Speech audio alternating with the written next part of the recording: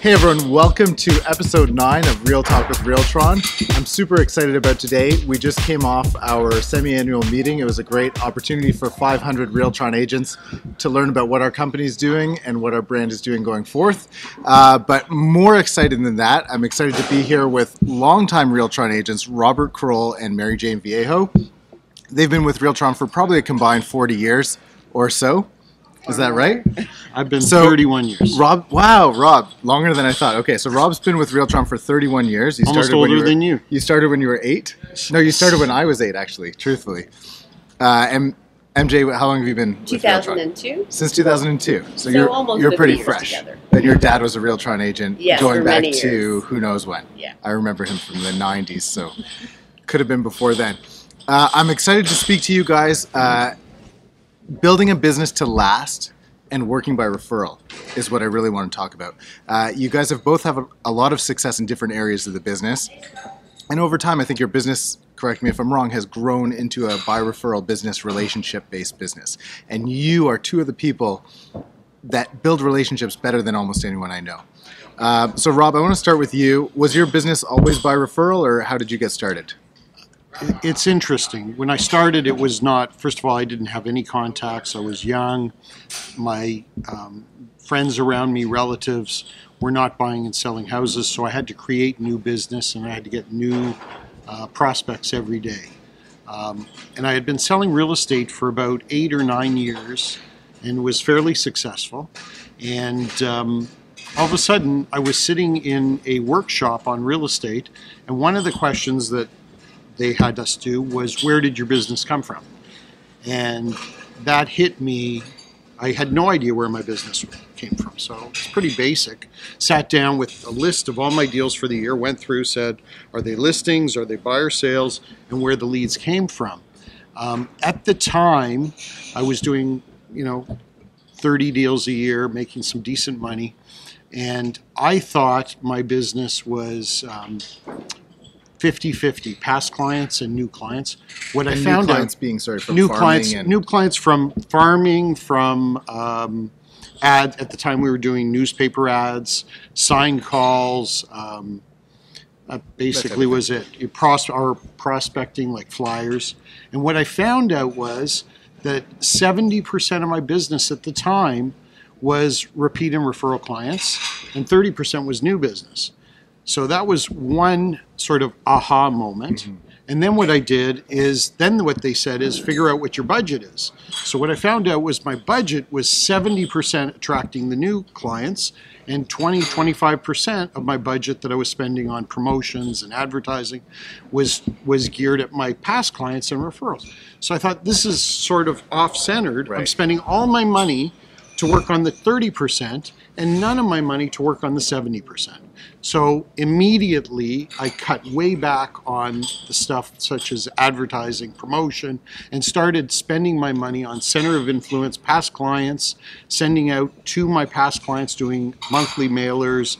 Uh, I started a client party, yearly client party, and I switched it. Within the next year, I was spending 70% of my money on past clients and uh, referral business, and very little on new business.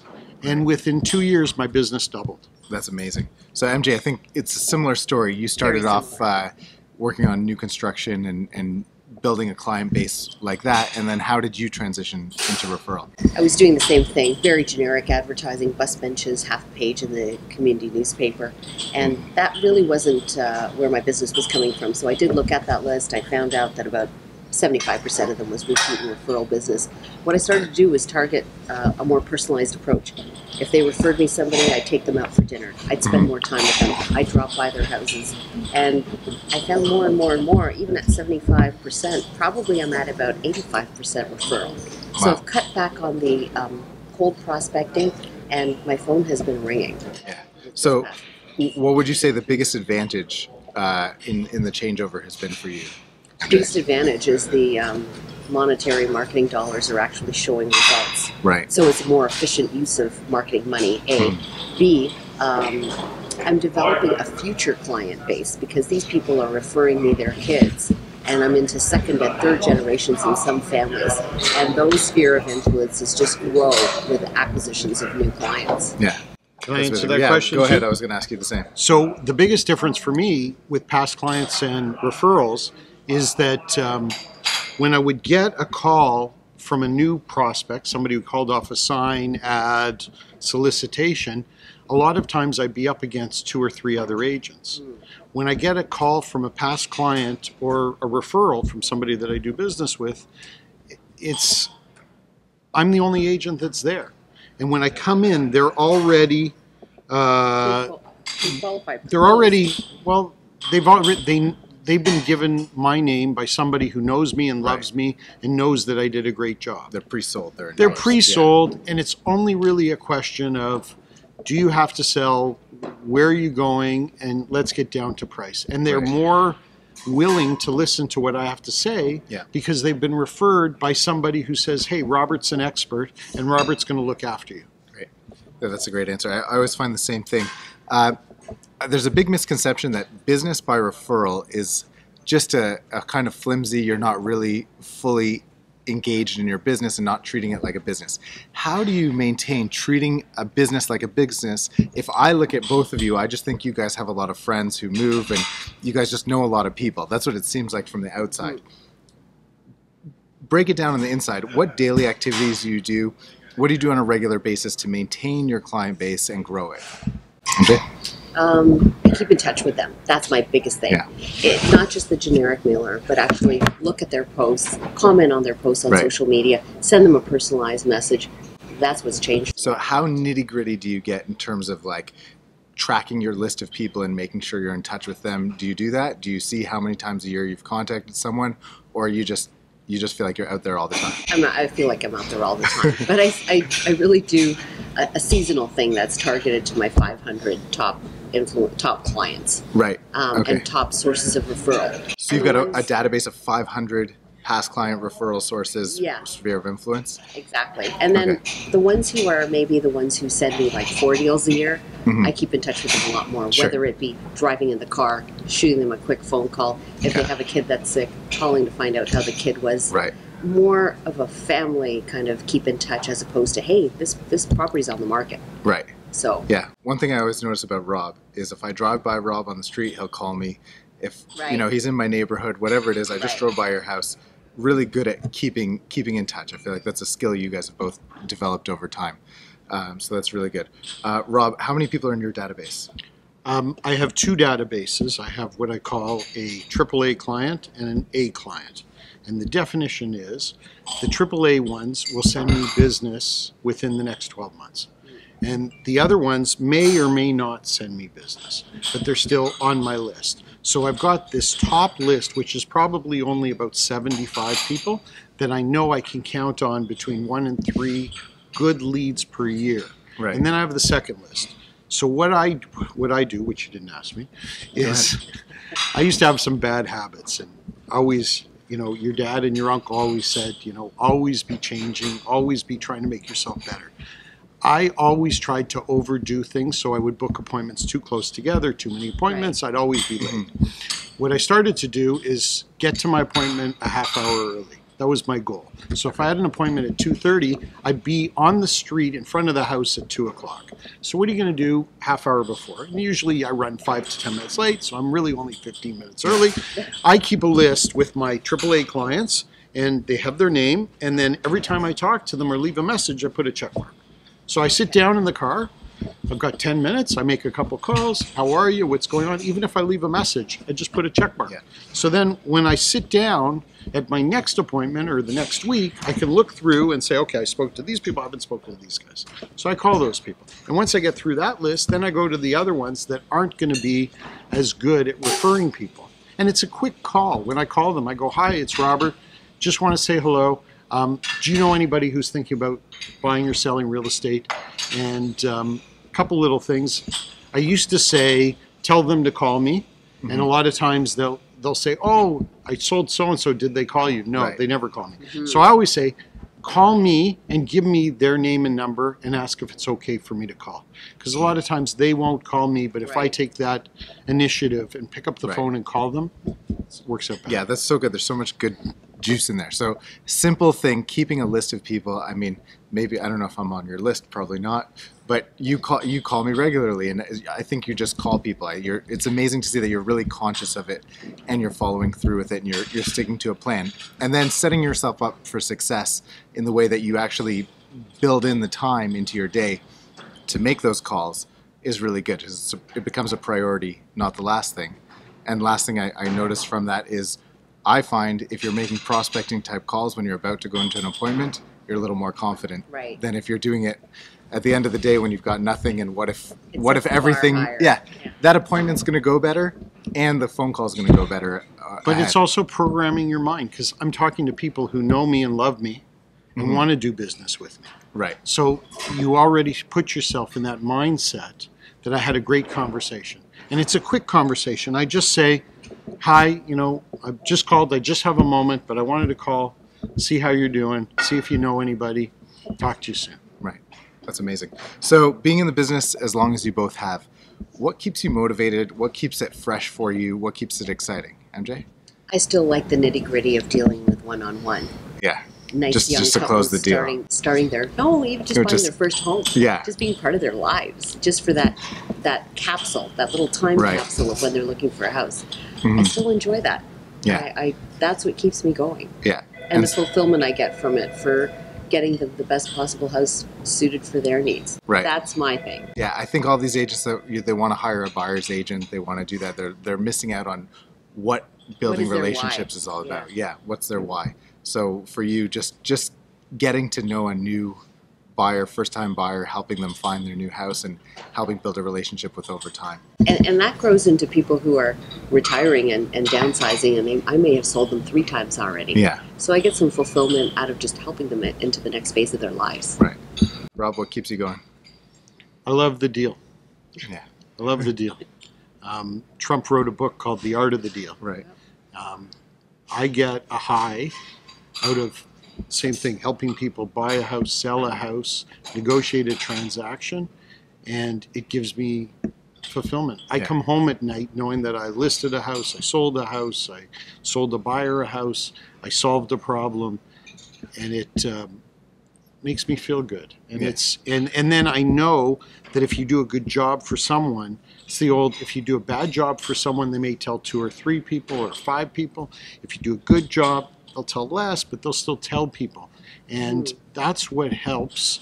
And after 30 over 30 years of doing business, I have people that I've helped. They've gotten good houses because I know they're going to call me after two years, five years, seven years that they want to sell the house, and they'll say, "Remember, we bought this house and you got us this great Right. deal, and uh, we've been really happy here, and now we want to move." Or our kids are ready to buy a place, and you did such a good job for us that now we want to do that.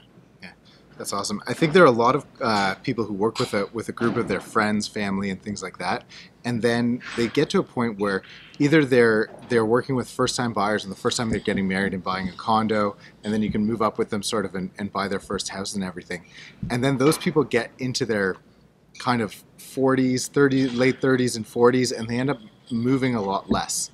Uh, I don't know if you guys ever ran into that with your database, your client base. How did you expand it, move into different areas, or, or did you run into that problem?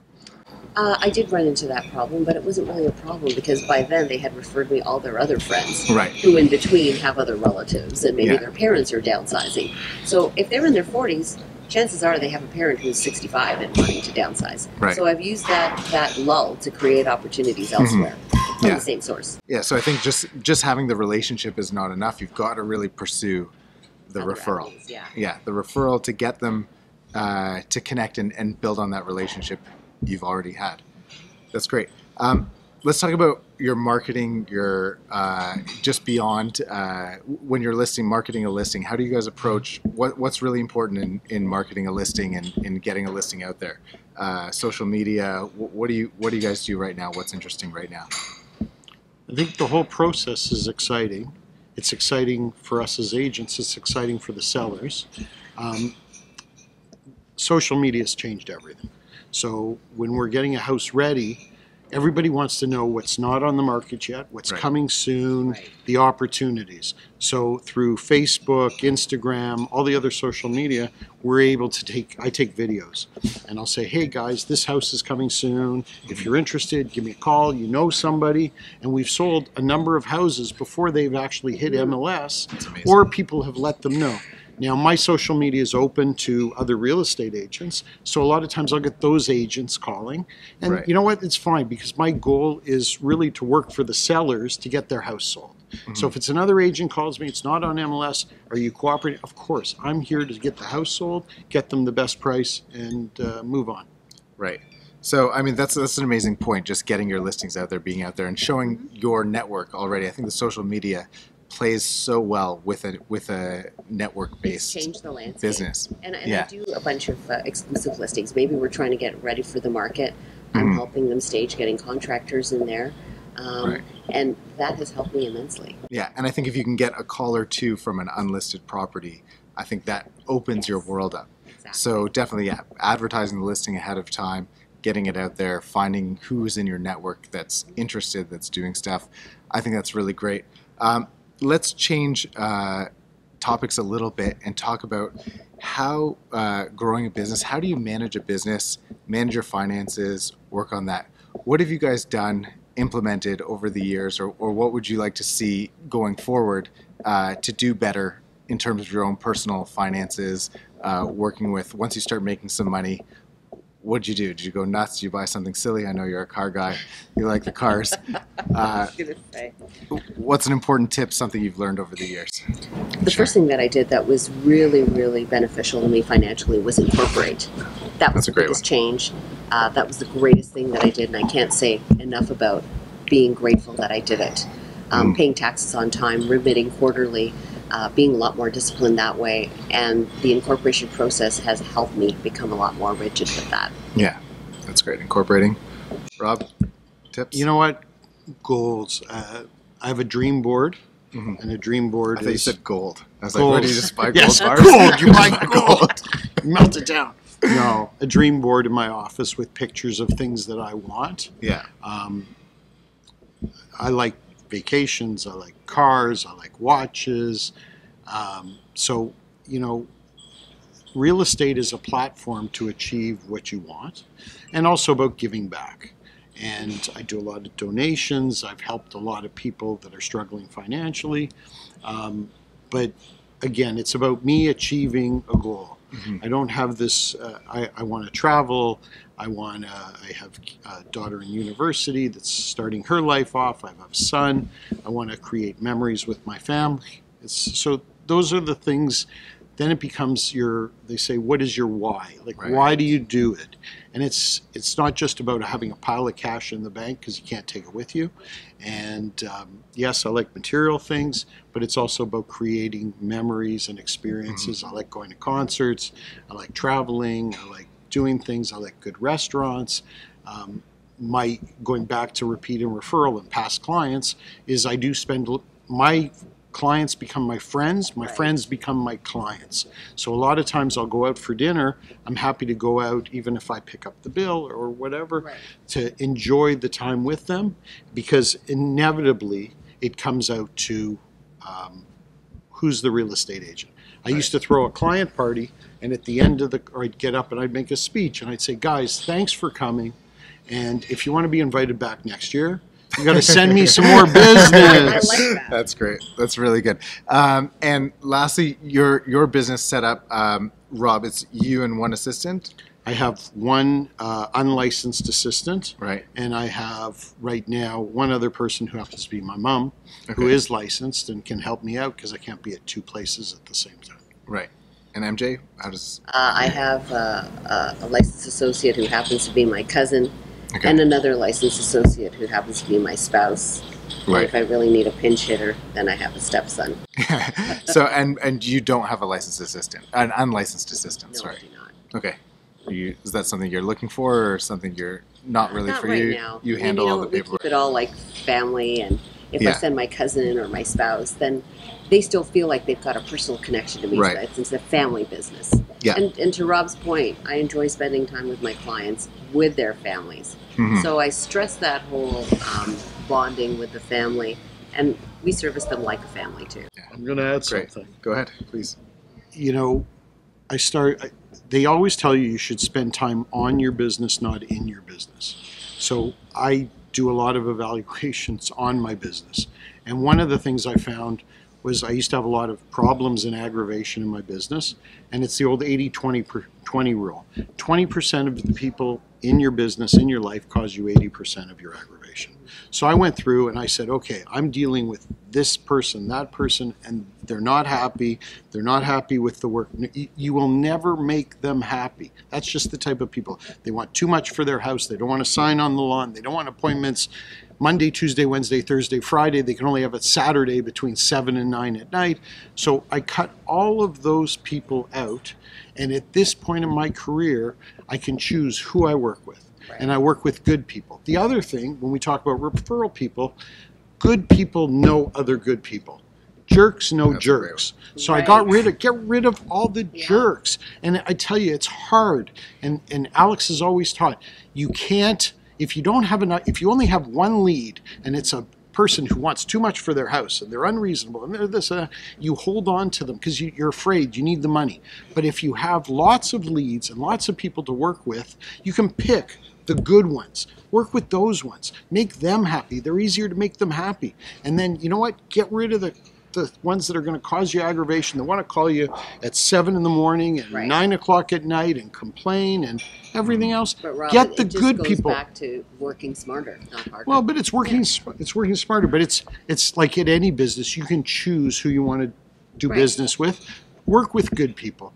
If you're good, people will appreciate you. Find the people that appreciate you, because otherwise, you're spending all your time trying to make people happy that you can never make happy. inefficiently. I think that's a great uh, note to leave it on. Uh, for anyone who wants to grow a long term business, uh, you guys are two great examples of building a business, doing it with integrity, doing it slowly over a long period of time, and just growing client by client, experience by experience, staying motivated, staying interested. Thank you so much. It's been a pleasure for me. I've learned a lot. Thank you, Mary Jane Viejo, Robert Kroll. It's been a pleasure. Thank you so much. For Real Talk with Realtron, I'm Jeremy Pilarski. Have a great day and a great month.